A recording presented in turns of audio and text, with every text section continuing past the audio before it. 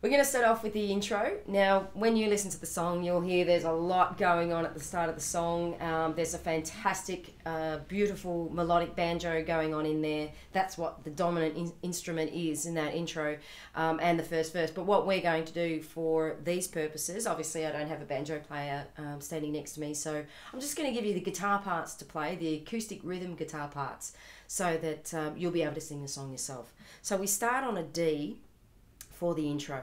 And make sure that when you start it, uh, keep keep the strumming nice and soft, so the song has actually got somewhere to go. Because because we kind of crank into a big chorus, we want to make sure that um, you know we've got a big difference between that verse and then up to the chorus. Otherwise, you'll find that the song may become um, you know not as dynamic as what it should. So for the intro, we start. We're going to be playing a D. Remember to keep that strumming nice and light. You may even want to sort of do a bit of um, uh, finger picking or a pick with the strings. I just prefer to do a, a nice uh, soft strum. So the next chord is actually an E minor. But what I'm doing here is I'm keeping my fourth finger on the third fret. Basically, I'm keeping my fourth finger on the same position that it was in for the D chord and um, and it's actually a D note, so it's the third string, uh, third fret on the B string, which makes the actual note that it's playing a D. So you've got an E minor with a, a pretty little D note in there, and because that seems to be the consistent um, sound that I can hear for what the guitar's playing. So we, we go from the D, lightly strumming to the E minor.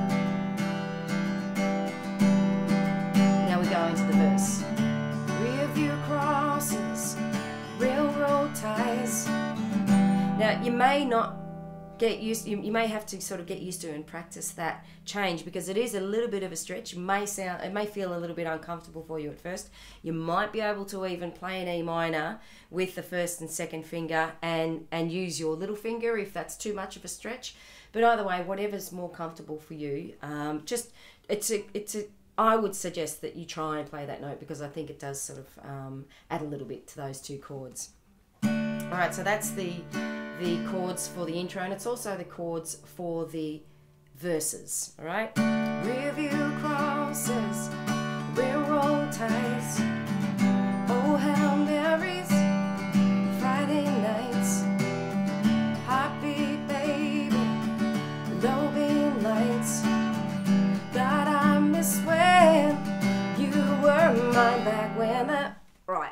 We go straight from that verse, and we're doing light. There's a uh, there's light light strumming, and it's a beautiful, sweet melody over those two chords. And then, without any warning, we just crank into that chorus.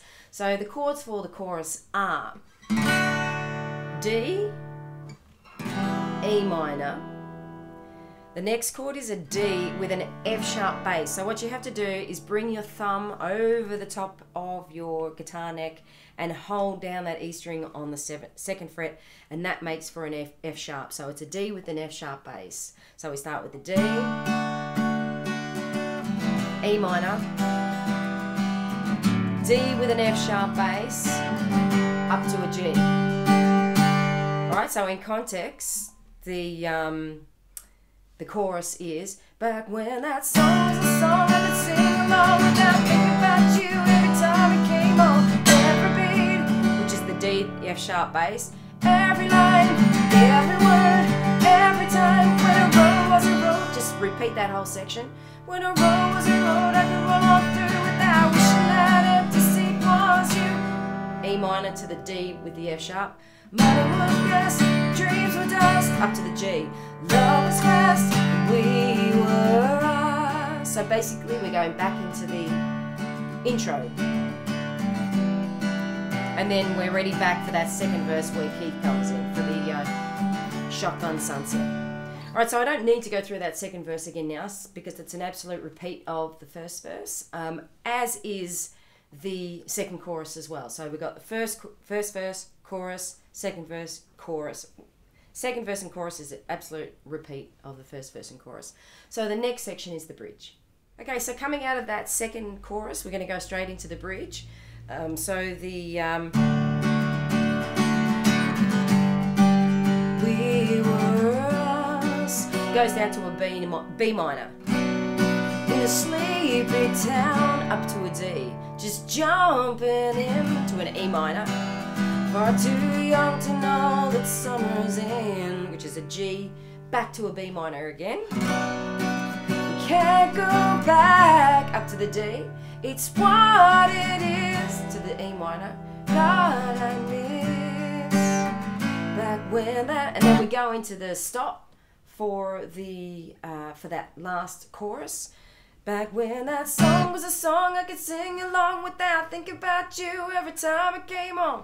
When you sing that, make sure you keep that exact beat going. Make sure it's punchy. Um, you don't fall off beat, and most importantly, that you don't fall out of key. If you need to be playing something, then you could kind of like, you know, play the first chord of each bar if you want.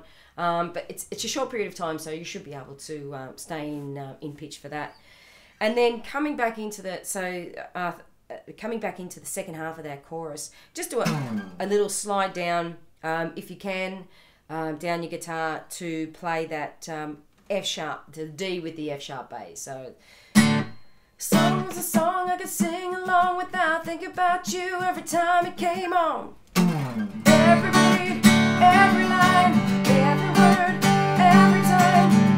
we just repeat that chorus again, and we just repeat those chords over that outgoing um, outgoing choruses when you know Miranda goes up nice and high and, and does does those beautiful melodies and Keith there's a little bit of ad libbing going towards the end.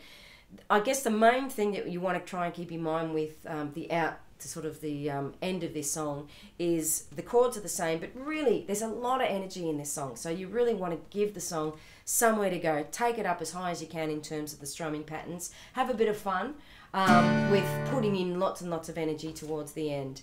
Um, it does take a little bit of practice to, uh, I guess, get all those ad libs, particularly if you're singing this by yourself, as I did.